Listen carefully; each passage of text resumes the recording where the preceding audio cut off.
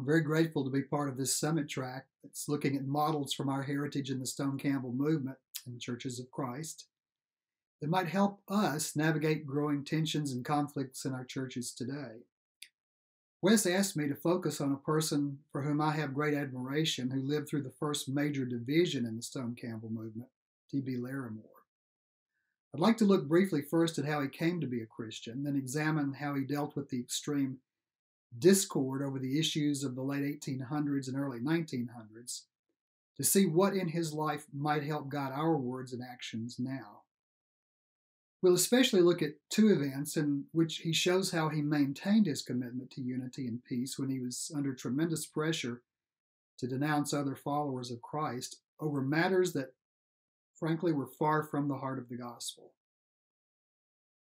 Larimore was born in, into poverty, I guess you'd say, in East Tennessee in July 1843.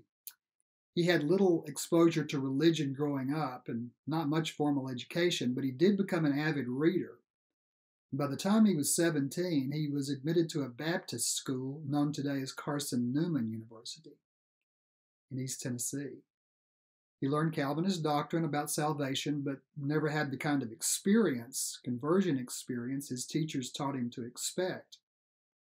In the meantime, his mother and sisters had responded to the preaching of two disciples preachers and were baptized.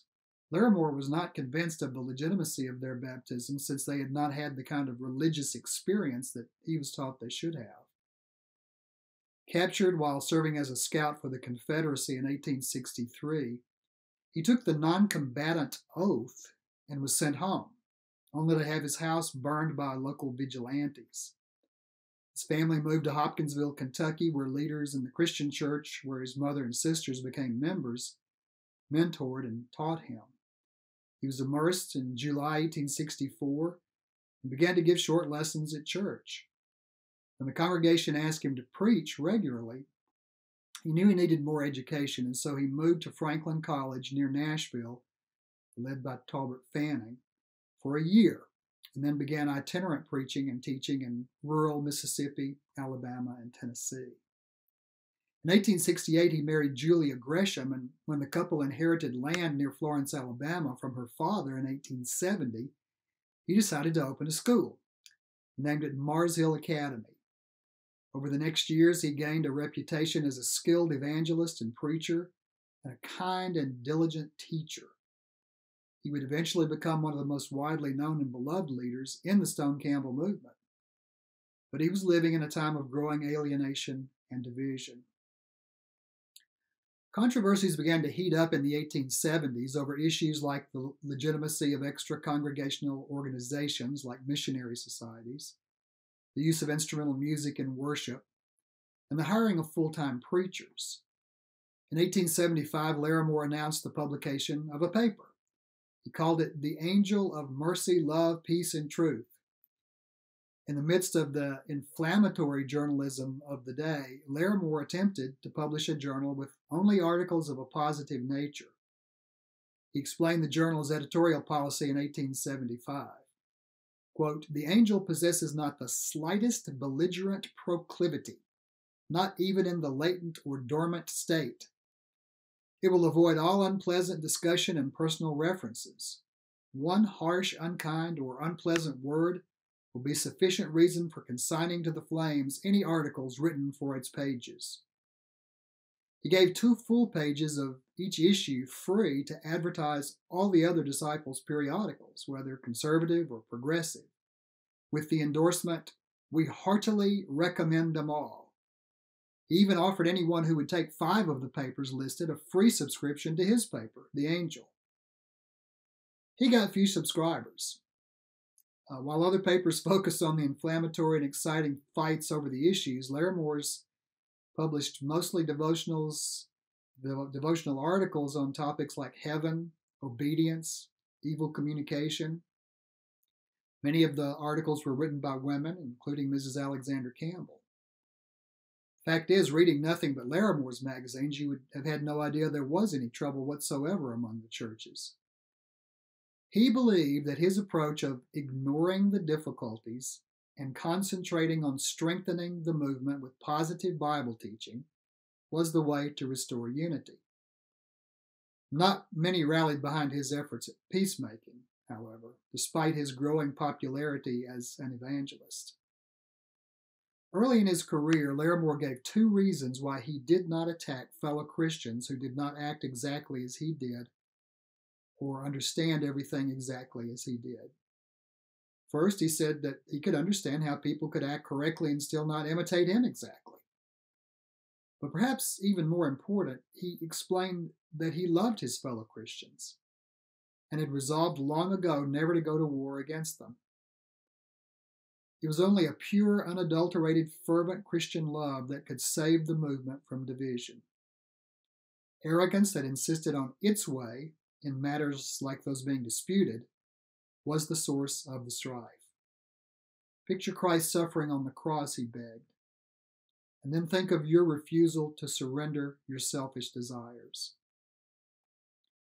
In a sermon that he preached titled Union and Unity, he quoted the familiar unity passage from John 17, verses 17 to 23, and then he asked how the Father, Jesus, and his disciples could be one.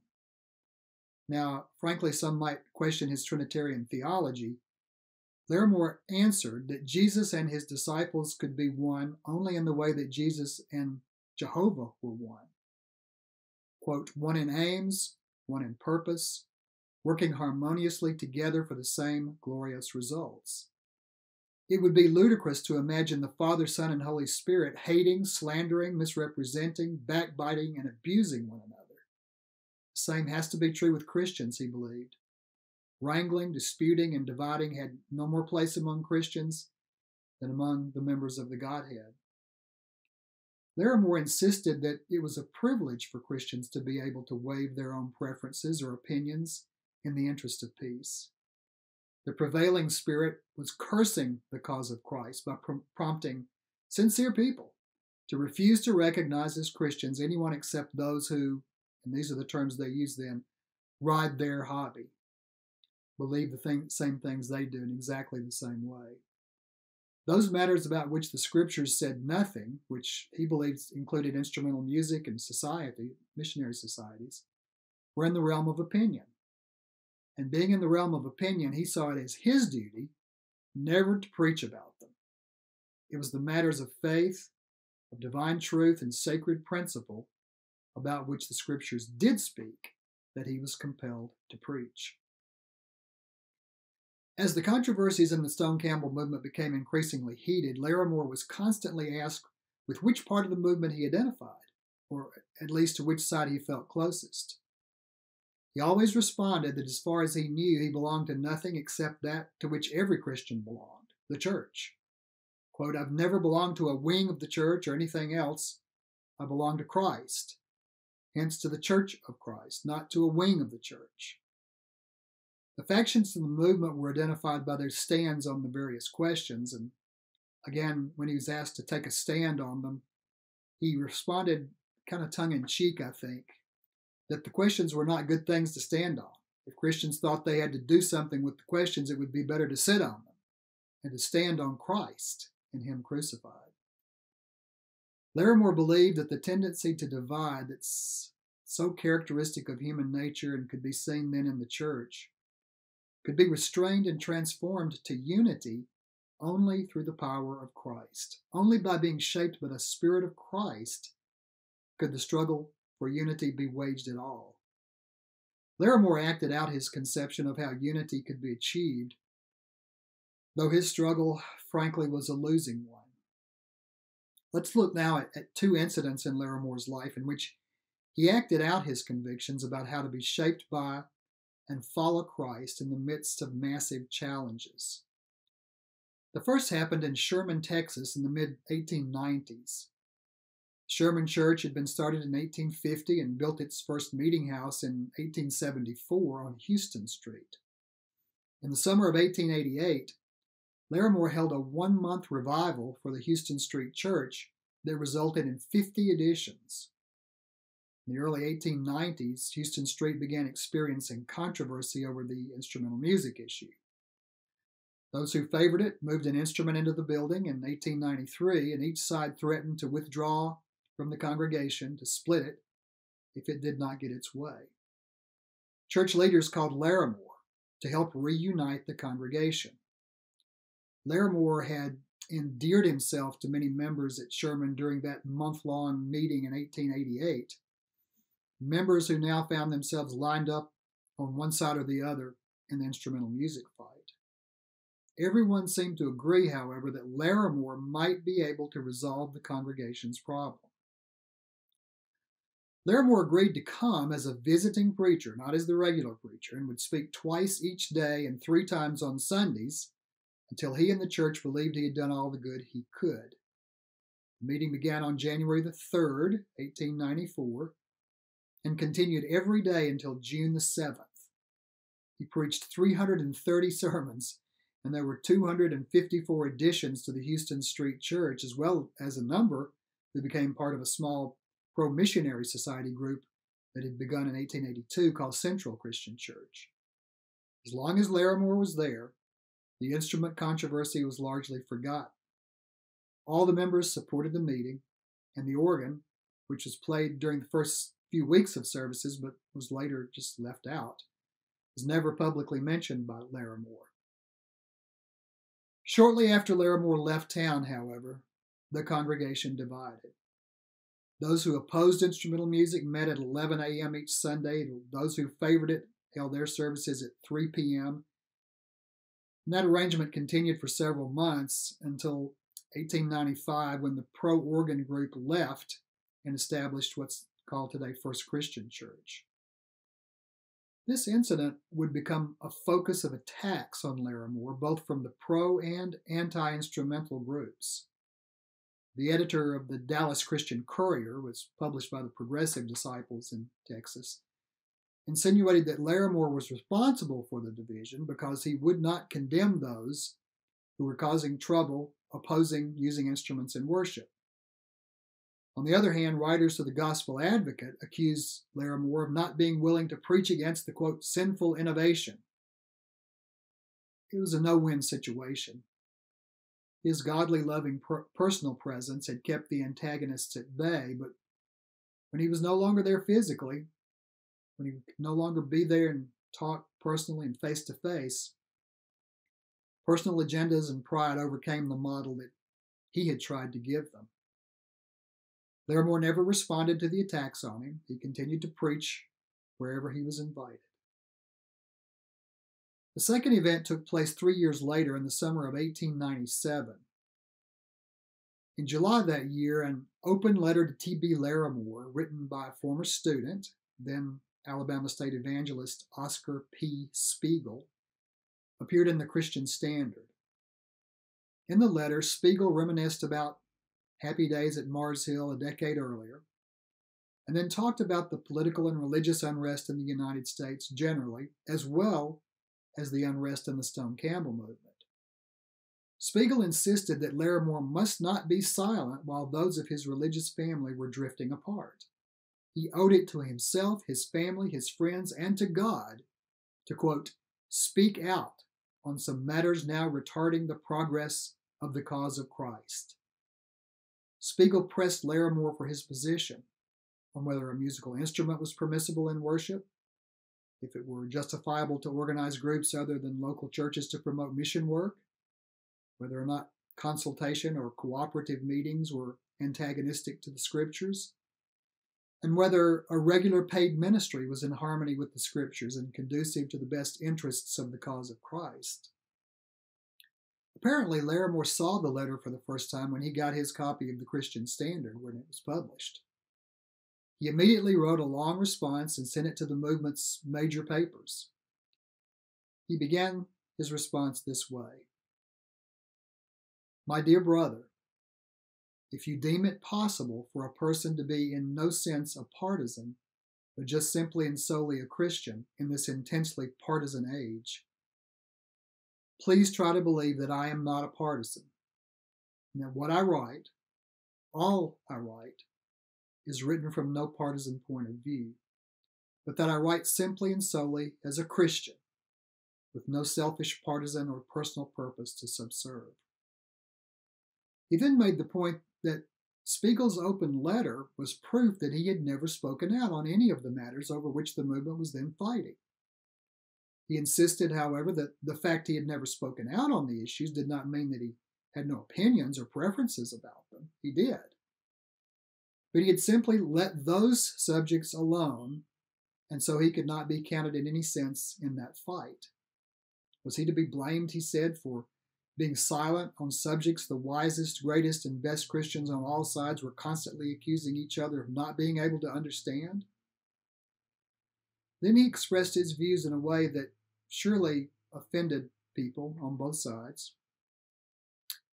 When Brother Campbell, and this is Enos Campbell, the man in Hopkinsville, Kentucky, who baptized him, when Brother Campbell took my confession on my 21st birthday, he questioned me relative to none of these matters, now retarding the progress of the cause of Christ.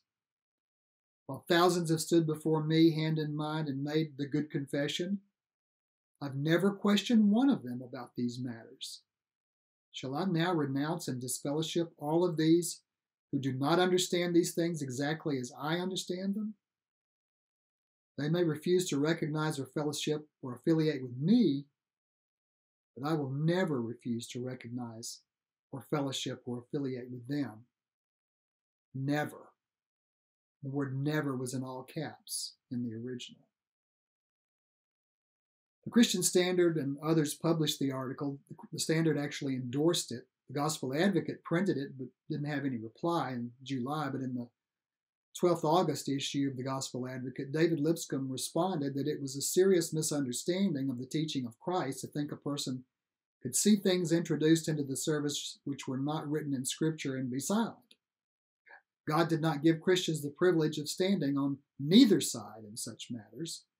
They were given only the privilege of standing on the right or wrong side.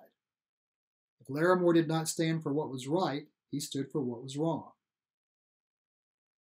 Alienated from many progressives by his refusal to endorse the controversial practices, and alienated from many conservatives by his refusal to denounce the progressives, Larimore was convinced that his stance was the only right one.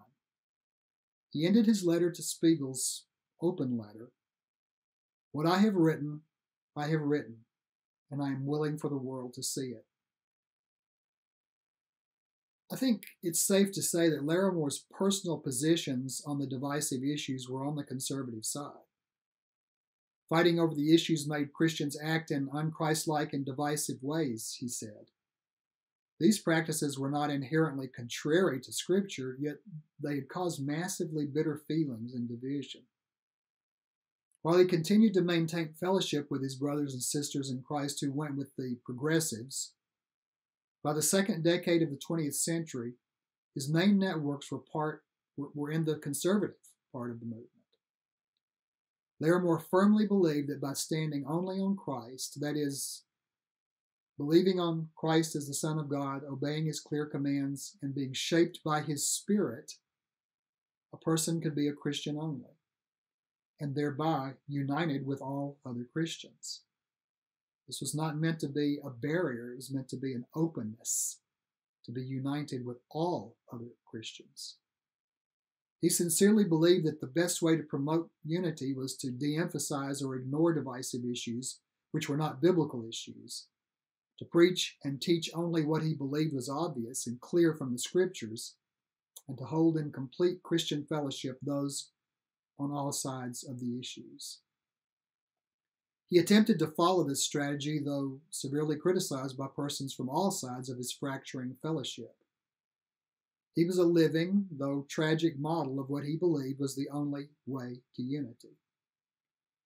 Now, having heard part of Larimore's story, we have to ask the question can we draw anything from Larimore's example for ourselves today? Some might say yes. Uh, the lesson is you can't keep out of the fights, you have to take a stand. Some would definitely agree with that. Some might say that Larimore's stance was naive and ultimately a failure, so don't try it. I think it's important to note that his refusal to become embroiled in the fights did not mean that he retreated to a corner and became inactive. He had given himself for decades to pouring his life into the service of Christ and the church, and as a result had become so respected and loved that he was constantly covering the country, preaching, teaching, baptizing, aiding churches to refocus on what was most important, to heal congregational divisions. He was focused on the Spirit of Christ. Would it be possible? Would it be something that would be right and good for any of us to take such a stance today within our Stone Campbell movement churches, and Christianity generally, in our nation? I want to believe that it's possible. I know that he did it, though he suffered greatly for it, and in the minds of many people didn't make that much difference. I also know that many of the sharp divisions and potential divisions in the church today have originated in the political life of this nation. Many of these issues, not like the ones that Larimore was dealing with primarily, but many of these issues hit at the heart of Christ and the gospel because they involve often the well being of huge numbers of people. To ignore issues that have to do with the well being of people that harm potentially God's children would distort the very nature of Christ and the church. In my opinion, these current issues, many of them, are not the moral equivalent to whether or not to use instruments in worship or conduct missionary or benevolent work through parachurch organizations. Maybe the key is that Larimore was silent on the divisive issues that were peripheral to the gospel, but he was not silent. He was constantly preaching Christ. He was constantly loving all people. He was constantly modeling the Spirit of Christ. I would hope that if Larimore were alive today, he would speak out in his loving, forceful way against the white supremacist ideology that is so much a part of white Christianity in America. But I don't know. Being confrontational seems to be against his nature. He tried in his own time and circumstances with the issues then in play to model the love of Christ. I believe there is a time when Christians must speak out and work against anti Christian attitudes and actions that have settled in the hearts of Christians. I do sincerely believe, however, that drawing from Larimore's model, we must seek to reflect the image of Christ when we do engage the principalities and powers of this world. I pray that I and all of us can model Larimore's godly manner increasingly in our lives and work. Thank you for listening and considering these things.